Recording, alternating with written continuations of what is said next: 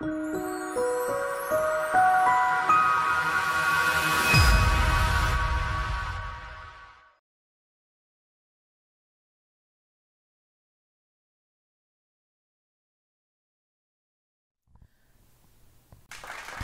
the name of Jesus. Happy, happy Lord's Day po, no? Una po sa lahat, tayo po yan nagpapasalamat sa gabi ito ng ating uh, pagtitipon, no? Para po sa ating Sunday online service, no? Ito po ang kauna-unahan din natin, uh, pagdaraos ng ating online service po sa ganap po na gabi po na ito, no? Alas 7 ng gabi. Binabati ko po ang bawat isa po sa inyo ng magandang magandang gabi po sa bawat isa sa inyo at ganun din naman maraming maraming salamat po sa tagumpay na ibinigay ng ating Panginoon. Kanina po sa ating face to face service po naginuna po kanina dito po sa The Excelsior Hotel Las Piñas napakaganda ng ginawa ng ating Panginoon at ang Diyos ay nagpatunay na naman na siya ay napakabuti po sa bawat isa po sa atin. Ang kinakailangan lang natin ay panghawakan po natin ang kanya pong banal na salita. Sa oras po na ito, sa gabi pong ito, tayo po ay uh, magpapatuloy at uh, iniling ko po na samahan po ninyo ako sa maikling pananalangin upang tayo po ay lumapit po sa ating Diyos na buhay. Tayo po'y manalangin sa oras na ito. Aming Ama, sa pagkakataong ito at sa ngalan ng iyong na si Jesus ay muli kami uh, nagpapakumbaba at kumikilala na ikaw ang Diyos na makapangyarihan sa lahat at kinikilala namin na ikaw ang nakakasakop sa amin po mga buhay. Ipagkaloob mo ang kalinisan sa amin po mga puso. Sa paglapit po namin ito, kami po ipatawarin sa lahat ng aming kasalanan, sa lahat ng kahinaan na gumapi po sa amin at hinihiling po namin, Panginoon, na sa gabi pong ito ng pag-aaral namin ng iyong salita. Patuloy mong ipagkaloob ang kalooban po ninyong banal. Ipaalam mo, Panginoon, ang katotohanan ng salita po ninyo. Palayain ang marami po sa amin sa maling paniniwala. Palayain kami, Panginoon, sa mga maling aral, maling konsepto, Panginoon, na amin pong natanggap na pumipigil, Panginoon, sa napakaraming anak mo upang matamasa ang biyaya at ang pagpapala na ikaw mismo ang siyang na magkakaloob, na ikaw mismo ang siya ring gumawa ng lahat-lahat ng ito. Hiniling po namin sa inyo, Panginoon, uh, samahan po ninyo kami at pagpalain ang bawat isa na maaabot ng iyong mga salita po na ito. Thank you so much. Once again, we commit everything into your mighty hands, Lord, and this we pray in the mighty name of Jesus. Amen and amen and amen. So purihin po ang ating Panginoon at uh, ngayon po sa gabi pong ito ay ating tatalakayin po ang isang napakagandang paksa. No? Okay, pero bago ang lahat tayo po ya bumasa po muna sa salita ng Panginoon in the book of Proverbs chapter 23. Basahin po natin Proverbs chapter 23 verse 7. Okay. Proverbs chapter 23 verse 7. For as he thinketh in his heart, so is he. Eat and drink, saith he to thee, but his heart is not with thee. And in Good News Translation, the same verse, the same chapter, but different translation, ito po ang sabi pong ganon, ng Good News Translation, what he thinks is, what he thinks is, what he really is. Glory to the name of Jesus and also in Proverbs chapter 10. Proverbs chapter 10 verse 16. Proverbs chapter 10 verse 16. The earnings of the godly enhance their lives, but evil people squander their money on sin. Let me repeat that once again. The earnings of the godly enhance their lives, but evil people squander their money on sin. Praise God, praise the name of Jesus. Okay, so purihin po ang ating Panginoon at uh, magandang magandang gabi po sa bawat isa po sa atin, no? At sa pagpapatuloy po natin ito ay atin pong tatalakayin. Minsan pa ibigay po natin, balik tanawan natin. Ito po mga nakaraang uh, pinag-aralan po natin para po sa series po na ito na pinamagatan po natin In God We Trust. Praise God, napakagandang series po nito. Hari nawa, marami po sa atin napapagpala, marami po sa atin ang kaluluwa po hindi lang basta nang mabubusog. Kung hindi po, tayo po ay napapalaya sa maling uh, pre, uh, uh, prinsipyo, maling pananaw, maling uh, kaisipan pagdating po sa mga bagay po na may kinalalaman po sa pagpapalat biyaya ng ating Panginoon. In our first subject of this series, tinalakay po natin ang paksa po na the use, misuse, and the abuse of wealth. At sumunod po dyan, ating pong tinalakay, pangatlo po, the, the roads to financial freedom. At pang-apat po na natalakay po natin, the Bible and money. Magandang paksa rin po ito kapatid kaibigan. No? Last March 12, yan ang tinalakay po natin. And then next po, no, after po niyan, ating pong tinalakay po, ayan no, uh, ito po nga just last week po, ito pong the distorted perception about wealth and riches at hari nawa. Marami po sa atin tunay po na napalaya kasi isipin po ninyo, nananalangin nga naman tayo patungkol po sa mga biyaya at pagpapala ng ating Diyos na buhay. Pero parang paano mangyayari kung yung pinapanalangin pala natin at the back of our mind oh, because of the belief system na na-establish po sa ating kaisipan ay nagkakaroon po tayo ng maling pananaw patungkol dun sa biyaya na ipinapag-pray po natin. So, kumbaga po eh, ang nangyari po ay parang fine-tuning po ang ginawa ng ating Panginoon. And for tonight, eto po, for tonight, saka una-unahang gabi po natin po na online service po, no? Okay, ano po ang siyang tatalakayin po natin for tonight? Ang subject po natin ay pinamagatan po natin the contrast. Praise the name of Jesus. So, greetings in the name of our one and only true God, Jesus Christ, the God who manifested in the flesh that he may die, be buried, and be resurrected after three days in order to redeem mankind from their sin And welcome to Jesus Christ One God, One Gospel uh, Church online service. Wine-welcome po namin ang bawat isa po sa inyo. So sa gabi pong ito, sa pagpapatuloy nga po natin itong series natin pinamagatang In God We Trust, uh, we will be talking for tonight uh, the subject, the contrast. No? So let me tell you once again what I have mentioned last week. No? Alam po ninyo, pag pinag-usapan po natin, ito pong tinatawag po na uh, pera sa lapi, kwarta, ayan, no? Kagaya nga nang nabanggit ko nung nakaraan, eh may mga umiinit ang tenga, hindi lamang po tenga umiinit, pati po mga ulo, napapainit po. Pagdating sa, kaya maraming pinapainit ang ulo po, ang pera, ang kwarta po, no? ng uh, sa, sa kadalasan nakakapagbigay rin po ito sabi nga po nakita niyo sa social media ang number one source ng high blood diabetes no ay uh, yung stress po na yan pera po, yan dahilan po ng lahat na pagka walang pera, nakaka-high blood po yung bagay po na yan. Kaya tiwasan po na mawalan po ng pera. Okay. So, ngayon po ay uh, ating tatalakayin at nabanggit ko nga po nung last week no that talking about money in the church uh, pulpit is an awkward and challenging subject for many pastors and Bible of course no ministers of the gospel no. Uh, napakarami po kasi sa maraming tao po uh, ito pong paksa po na ito, uh, parang nabanggit ko nga po, it, it becomes uh, with the subject money talks po na to, uh, discussing money is a, is a very sensitive and a very, I would say, difficult subject, no? Uh, bagamat uh, mahirap man po ito, kagaya ng nabanggit ko nga nung nakaraan, ay atin rin namang susubukan at pagpupursigihan po na atin pong malaman po ang dakilang kalooban ng ating Panginoon sa pamamagitan po ng kanyang banal na salita. So napakahalaga po no.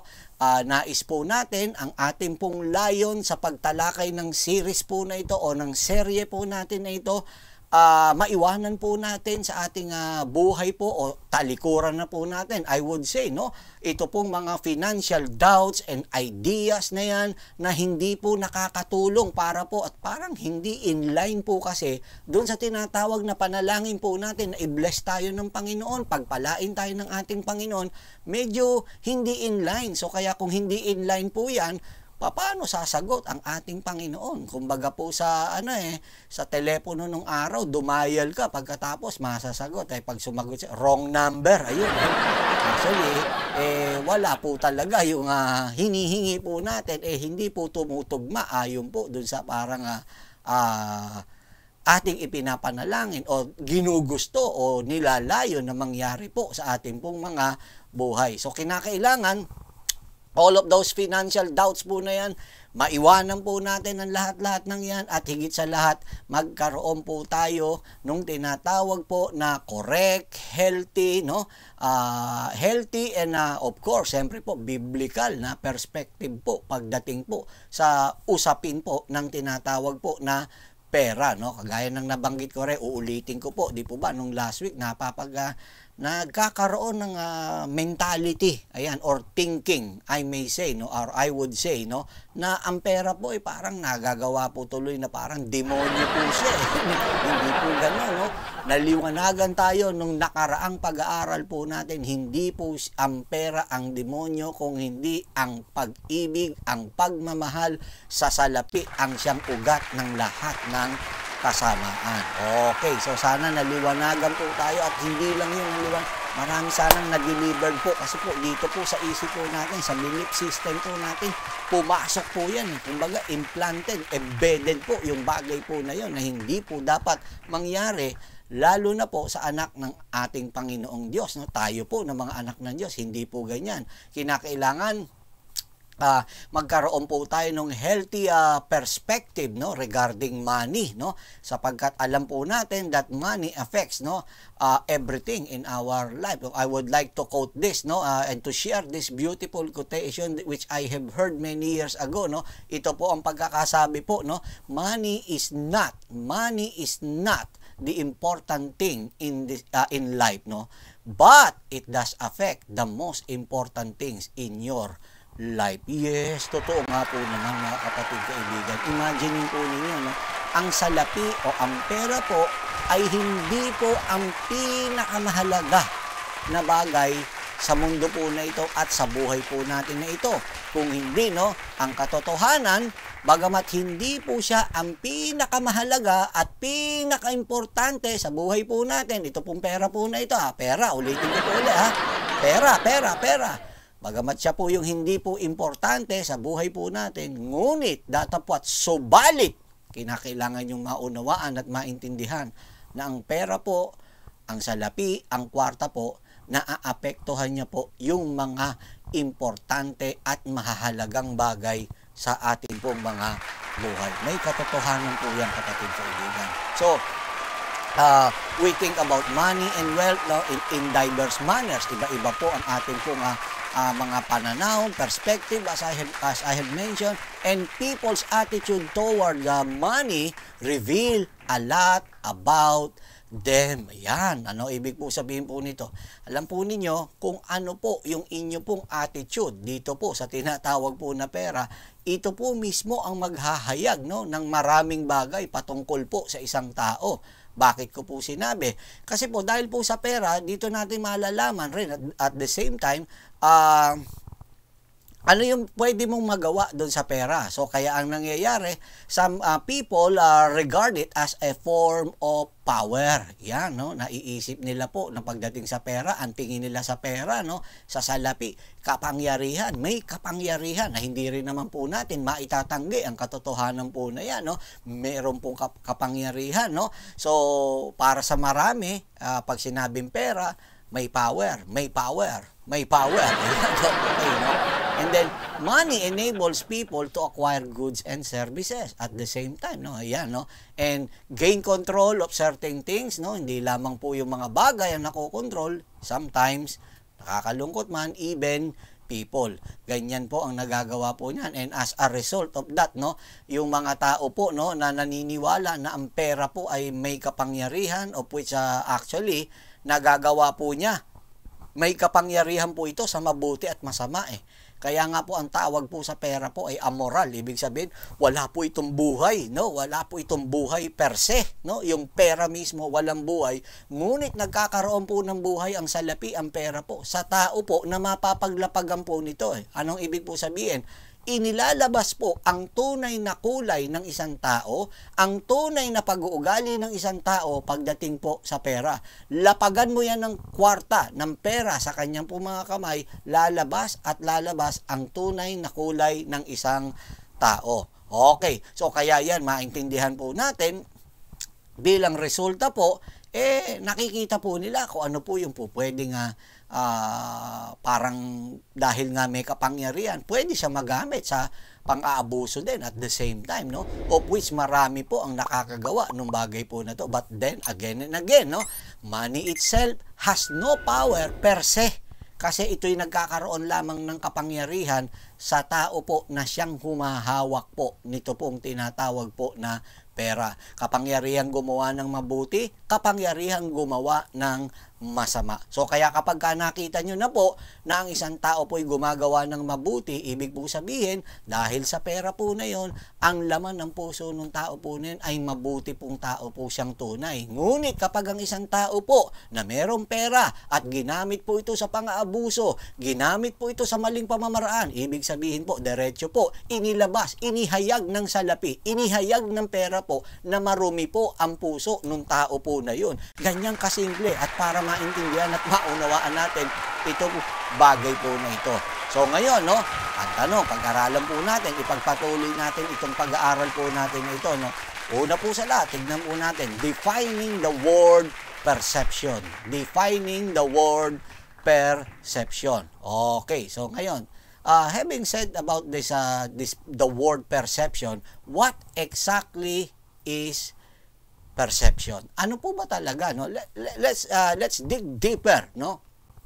The word perception, no? Okay, tignan po natin maigi. Halukayin po natin sa mas malalim na pamamaraan pa. Ito pong salita po na ito na English word na perception. Now, the word perception is the process. The word perception is the process by which the brain interprets sensations, and information received through the various senses in order to form an impression of reality is known as perception. Yun. Okay.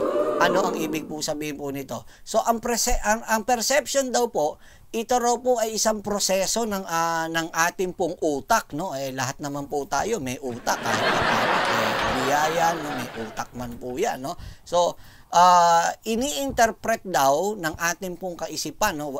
It's either the sensation and the information na siyang ating natatanggap no?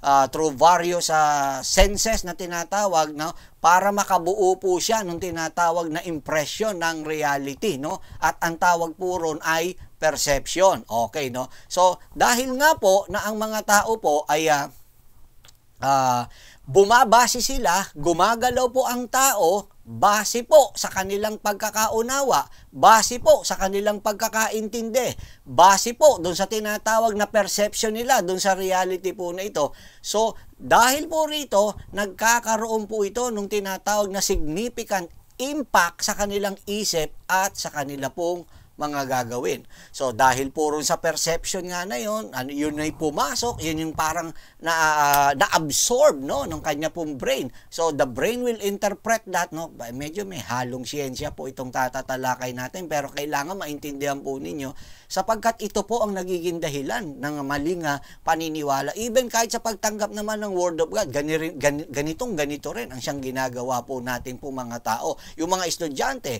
pag mayroong mga professor na nagtuturo po sa kanila, ganun din po, no? Napakahalaga nung tinatawag po na uh, perception. In fact, no, people have debated uh, uh, the topic of perception for many years. Marami na pong pagtatalo, pag-aargumento uh, patungkol po sa usapin po na ito. At may mga pag-aaral nga na ginawa po na kanilang napatunayan na ito pong learnings and problem solving eh may kaugnayan po dito po sa tinatawag po na yan na perception. Meaning, perception is a critical component of cognitive psychology. Yan, no? Ano ibig po sabihin po niyan? Ay, bay, malaki po ang kaugnayan, no? Pagdating po sa pangkaisipan, no? Pangkalusugang pangkaisipan ng isang tao po, yung tinatawag po na perception po na yan. Halimbawa, yung perception kasi, base meron kang nakita. So, i-analyze po yan, ipaprocess po yan. At base dun sa nakita mo na yan, doon ka ngayon, yung brain mo ngayon, o ikaw, magkakaroon ka nung tinatawag na, uh, what do you call this, ah, analysis na ginagawa. At doon sa analysis na ginagawa mo na yon na iyo nga nakita, so magkakaroon ka ngayon ng tinatawag na conclusion kung papaano magkakaroon ng tinatawag po na uh, paliwanag o pagsosolve ng uh, whatever man na kailangan na uh, makit na, na doon sa base, doon sa nakita mo o maaring naramdaman mo o ba maaring narinig mo, yun po ang tinatawag po na yan. Now, according nga po dito po sa isang pag-aaral po no na ito po yan dapat na maintindihan po natin ang sabi nga that perception occurs when a person chooses what is considered relevant to generate a mental representation. So napakahalaga po niya no na maintindihan po natin no na yun po kasi yung tinatawag po na perception po na yan. Uulitin ko po uli. Napakahalaga na maunawaan natin. In other words, ang isang tao po nag-i-interpret po siya base po sa naisip niya no at kinakailangan sometimes no at kung ano po yung uh, uh, hindi naman po yung uh, basta kailangan lang kung hindi sometimes nangyayari po na nagkakaroon siya ng tinatawag na nai-interpret niya base naman doon sa tinatawag na tumatawag ng kanyang atensyon. So kung halimbawa deadma deadma lang eh wala pong perception sa ganun po. Sa, basta deadmahan walang perception. Pero kapag ka na-call yung attention, dyan po yung tinatawag na mabubuo, yung tinatawag na perception. At minsan, yung pinakamababaw na pagpapaliwanag uh, po dyan, yan yung tinatawag na tamang hinala. Minsan pumapasok. Perception din po yun, no? Or hindi naman na hinala, kundi may katotohanan. Whatever. Uh, yun po yung tinatawag po na perception. And because of this, different people have different perceptions. Ayan. Different people have different perception. Magkakaiba eh. Parang ano yan, simpleng-simple. Iba-iba po tayo ng opinion, iba-iba po tayo ng paniniwala. At yung pinagbabasihan nung paniniwala po natin, yun po ay nakasalig po, yung pinagbabasihan nga po noon, eh maaring yan eh sa experience, no? Maaring yan eh sa oh, bukod sa karanasan, sa mga narinig, yan, no? Kaya mahirap din sa wala namang basihan, no? So, magkakaiba po ng opinion po. So, understanding how each person interprets the reality, eh, ito po ang pinaka-central ng, uh, ng pag-aaral po dito po pagdating po sa perception po na yan. And because people have different perception, listen to this, no? Because people have different perce- perceptions of their own existence, this opens uh, opens the door to learning. Yan ang kagandahan po.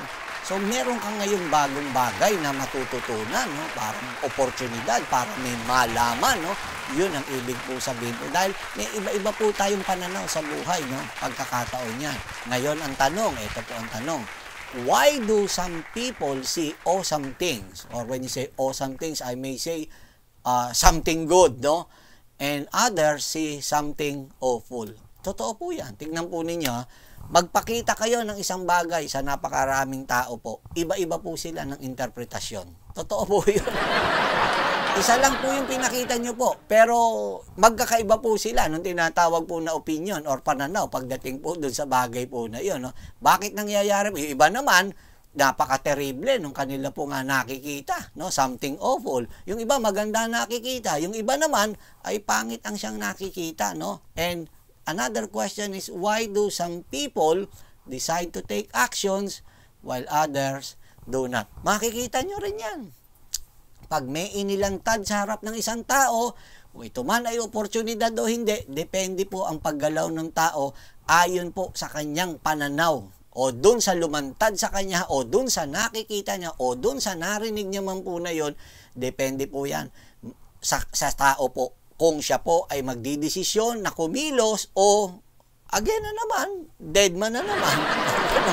Deadmahan na naman pag so ito yung mga tanong na dapat po natin na masagot no? At uh, ito yung naging dahilan para maunawaan po natin ito pong bagay po na to. Kasi uulitin ko po kahit nga po sa text natin no?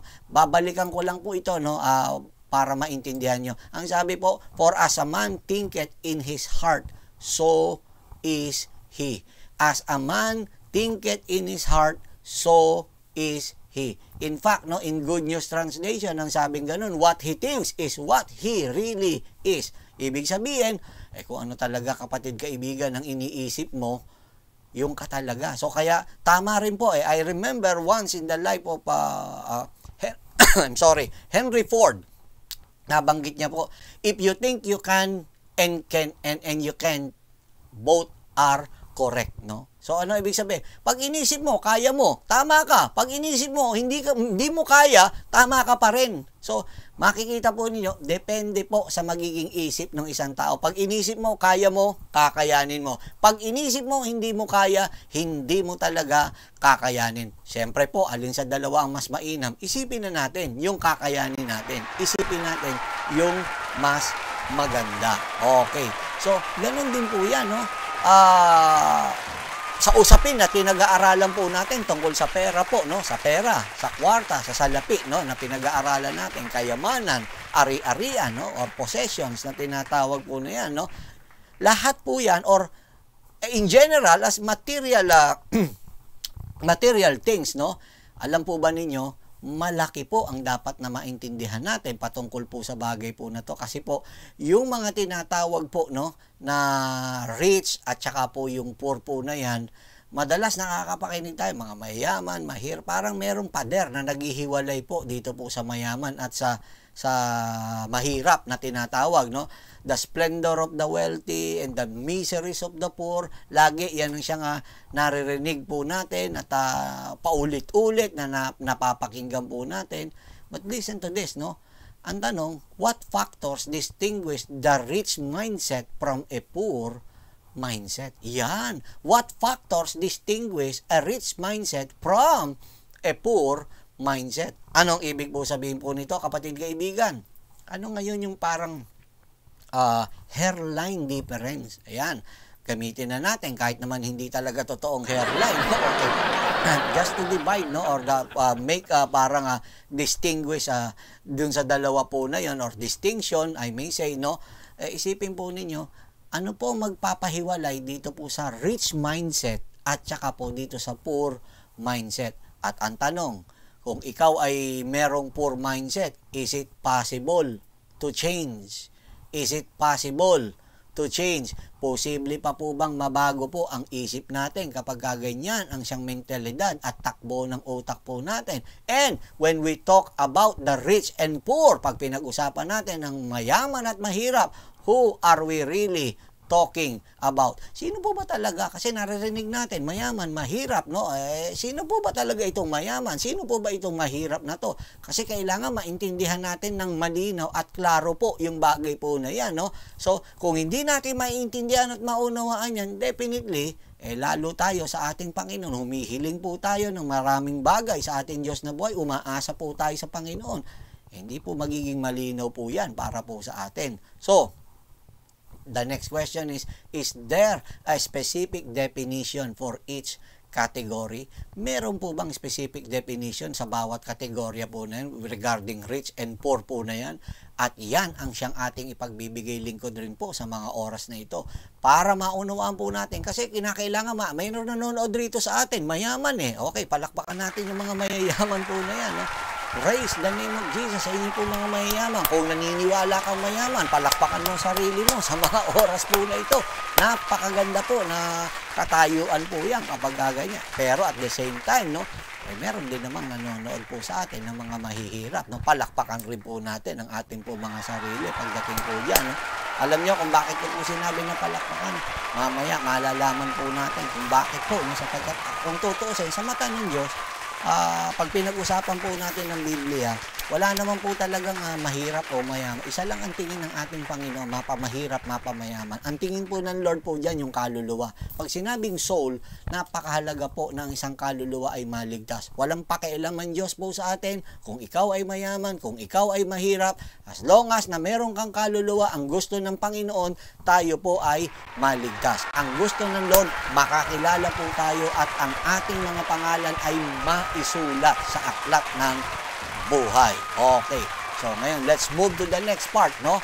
Recognizing the rich, or the wealthy, ayan, and the poor, or when you say poor, poverty is stricken. Okay. Tignan po natin, liwanagin natin sa mga oras na ito. Himayin po natin ng todo-todo sa mga oras po na ito. The question is, who are the rich and the wealthy? Who are the rich and the wealthy. Sino po ba itong mga mayayaman na ito? Sino po ba ito po mga lubhang mayayaman po na ito? Kasi kung titingnan natin, uh, rich and wealthy, pareho namang mayaman po yan. Kaya lang mas matindi po yung pag sinabing wealthy. Eh, sobra-sobra po ang kayamanan po nito po mga tao po na yan. Yung rich po, kauumpisa pa lang niya na yumaman po. Parang, parang uh, although pareho silang mayaman, kaya lang iba pong degree po yung wealthy po talaga na tinatawag. But uh, as I have uh, asked you earlier, who are the rich and the wealthy? Okay, tingnan po natin maigi at ating alamin para maliwanag sa ating pong pag-aaral po na to ha.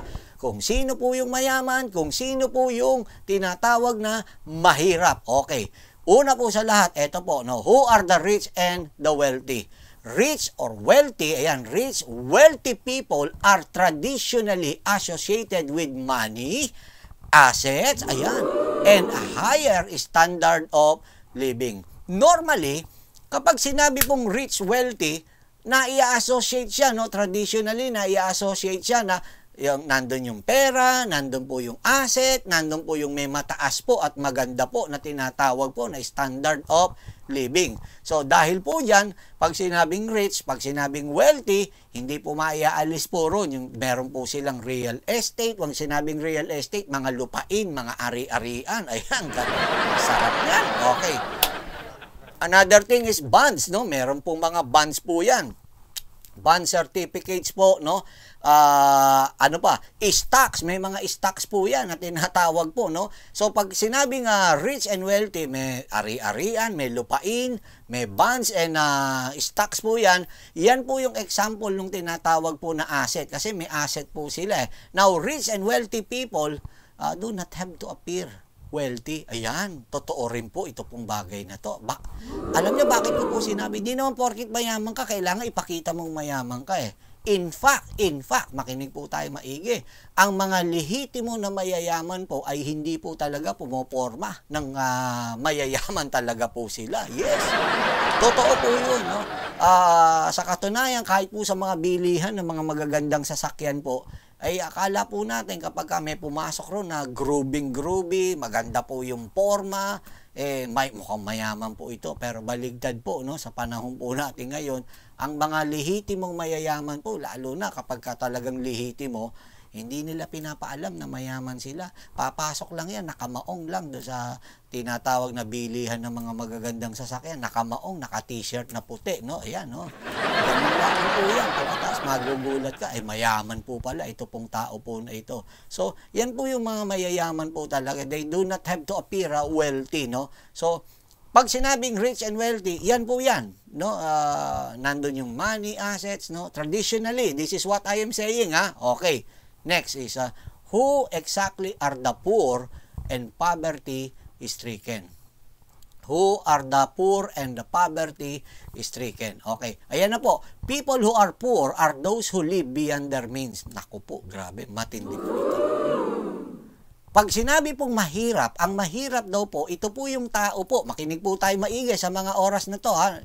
Lahat ng nanonood. Pag sinabing mahirap, they are the people no, who live beyond their means. Ano ang ibig po sabihin? Sila po yung nangabubuhay ng lagpas sa kanila pong mga kinikita. Ano ang ibig po sabihin po nito?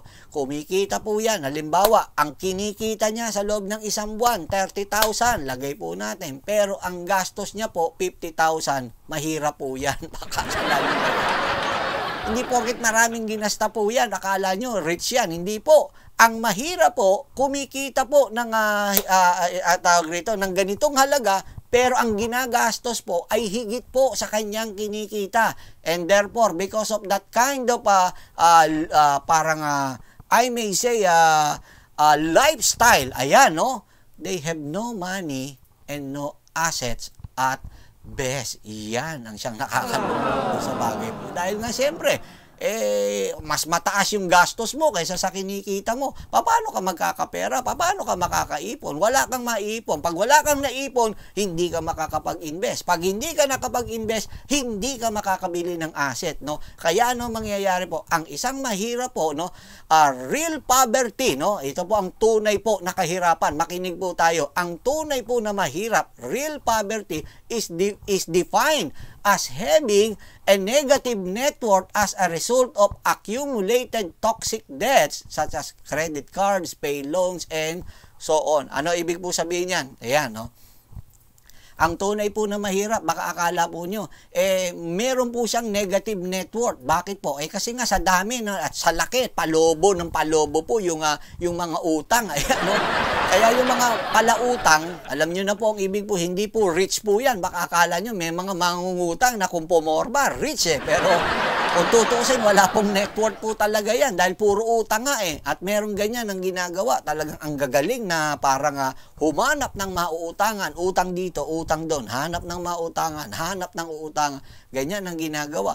So, uh, because of that, no, yung klaseng ganung pamumuhay po, eh, hindi po mayaman po yan. Poor po yan. Purita po yan. Malinaw po na ang taong ganyan ay purita. At ano pa po, no, poor people are associated with low income and lower standard of living. Yan po ang sinasabi po niyan. So, makikita po ninyo, ganyan po ang tinatawag po na mahirap po, no? Uh, nabibilang po siya sa tinatawag na may mababa ang kinikita at mababa rin ang tinatawag po na kanyang standard of living. And typically, siyempre po, they have fewer assets. Kung magka-asset man po yan, hindi naman po ganun kalaki yung magiging asset po nila sapagkat kadalasan nga, sila po ay nababaon sa tinatawag na utang. At ito ang siyang dapat po, no? na maintindihan natin dun sa bagay po niyan having established that no that uh, uh, that distinction para po sa dalawa po na to ang tanong ay ito po this is the question what exactly is a mindset. Yan. And what creates a mindset? Yan ang dapat natin ma- maintindihan, okay, sa mga oras na ito. So, madalas, pag sinabing mahirap, yung kasi ang nakikita natin, yung resulta na ganun. Pag sinabing mayaman, eto, marami siyang ganun. But actually, makinig po tayo maigi. Kailangan maintindihan po natin itong lahat ng mga nanonood, lalo na ng mga anak ng Diyos, no? Ang pinagkaiba nilang totoo po ay wala pong iba. Hindi po actually sa asset, hindi po do sa property, hindi po sa dahil sa ito walang property, ito'y kulang, ito'y kapos. Hindi po 'yun, no? Ito ang kanilang pagkakaiba po, no? A mindset, ito po ang ibig po sabihin ng mindset, no? A mindset is a person's collective of preconceived notion form as a result of influence such as, ano yon Family, ayan, nakuha sa, sa pamilya. Ano pa? Personal experience. Pangatlo, media. Pang-apat, education. In other words, no, pag sinabi po na mindset, no, it is a person, a person set of belief. It is a person set of belief that shape his or her state of mind. Yan ang sinasabi po ng tinatawag po na yan na mindset. So, ibig po sabihin, ito po yung humubog. Saan po? Humubog sa iyo pong state of mind, sa iyong kaisipan, kapatid, kaibigan, no? At sino humubog po niyan? Pwedeng pamilya mo, pwedeng tinatawag na karanasan mo. Yan, dahil sa base sa karanasan mo, yan ang humubog po. O yung iba naman, dahil sa media. Whether it be uh, yung mga media, giant media outlets po na yan, or sabihin natin social media po, whatever po na nagte-trends po, ganyan, nahuhubog po yung kaisipan po eh at minsan yung tinatawag po or madalas yung tinatawag na edukasyon. And that is the very reason po kaya kung pupunayin nyo po yung eskwelahan po napakahalaga po niyan. Kung saang eskwela ka papasok eh doon mo makikita kung ano magiging hubog ng kaisipan po. Iba po ang hubog ng eskwelahan na, na ganito. Hindi na po ako magbabanggit. At sa eskwela po na ganito. Bawat, uh, uh, I may say, uh, school or university po, doon po makikita kung ano magiging hubog po ng kaisipan. Kaya po, ang pag-aaral po, depende po yan kung anong eskwelahan, anong universidad ang papasukan mo sapagkat doon po mahuhubog po yung uh, tinatawag po na kaisipan po ng sino mang tao po na yon. And people can be classified based on their mindset. Yan ang dapat nating maintindihan. Nakaklasify sila. Nagkakaroon ng classification ang tao po base po dun sa tinatawag po na mindset. Sabihin sa katabi nyo, mindset, mindset, mindset, mindset. Ay, mindset. Yeah mindset. Sabihin po natin, doon nagkakaroon po ng pagkakaiba. Which is, no, this common belief po na ito, no, makinig po tayo. Like for example, yung uh, spending habits or relationship with money, ito po ang siyang tutulong po sa atin para maunawaan po natin ano po ang tunay na pagkakaiba ng mahirap at mayaman na tinatawag, no? So, dahil po yan, uulitin ko po, base po yan kung paano nahubog yung kaisipan po natin at ang huhubog yan, babalikan ko lang po, paulit-ulit, pamilya, personal experience, or media, or yung tinatawag na education. Kaya sa atin pong lahat na naririto, ingatan po natin kung paano po natin huhubugin ang ating pong kaisipan. Doon po mabubuo po yung doon po mahuhubog eh, yung tinatawag na state of mind ng isang tao. Kaya kapag ka ang tao po eh ang isip niya malakas, eh tandaan po ninyo, eh kahit pasamahin mo yan sa mahina po talaga, eh talagang hindi po uubra yung mahina ang kaisipan. Pero ito pong mahina ang kaisipan, eh kailangan pag siya naman ay napasama dito sa tinatawag na malalakas ang kaisipan, magugulat ka, lalakas din ang kaisipan nitong mahinang isip po. So ano po ibig ko sabihin? Nahuhubog po ang tao, lalo po ang ating pong kaisipan. At dahil po dyan, no, na naibigay po sa atin para po sa gabi pong ito, naintindihan na po sana natin sapagkat uulitin ko, yan po ang nagse-separate. Ngayon, ano ngayon ang dapat nating maintindihan pag pinasok natin no, uh, kaisipan ng mga tunay na mayaman at ang kaisipan ng tinatawag na tunay na mahirap. Gusto niyo pong malaman yan? Alam ko, para kaya tayo naririto sa gabi pong ito para malaman natin ang pagkakaiba. What differentiate the rich mindset and the poor mindset. At yan po ang ipagbibigay lingkod ko po sa inyo sa susunod po na linggo. Ayan, April 2. Diyan po natin po ibibigay po yung bagay po na yun ng conclusion part nitong pag-aaral po natin para po sa gabi po nito. So maraming maraming salamat po and to all members of this church, friend churches, followers and subscribers of this YouTube channel, that's our message for this Sunday online service for tonight po na ito. And I hope it was a blessing to you. And I hope you will be back by next week, no?